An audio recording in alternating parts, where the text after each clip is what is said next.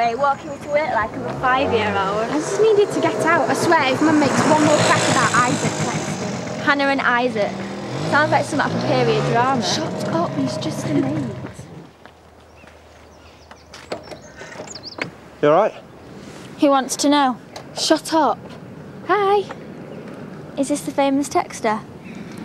I was expecting a limo, not a hairdryer on wheels. Holly, Mess her around, you've got me to deal with, alright? just go to work.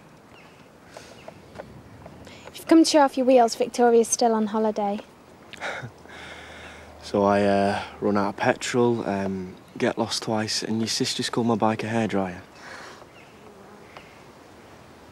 So, um, you gonna buy me a drink or what? Come on, I'll give you a ride. Like I trust you on that thing. Oh, you little chicken. Wannabe. I swear to God, Carly Morris set herself up on Facebook as Miss Parker. It was so funny. No way, the supply teacher. She didn't have a clue. What a ledge. Sorry. Hello? yeah. No. Mm. Bye. Bye. That was Lauren. Oh, I didn't know you're mates with her. She's dead pretty. All the lads are all over her. Is she? Well, unless you're blind. Or maybe you're just into someone who lives not a million miles from here. Maybe.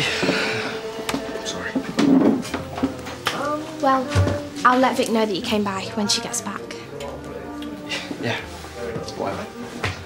Um, two smoothies, please. Dear.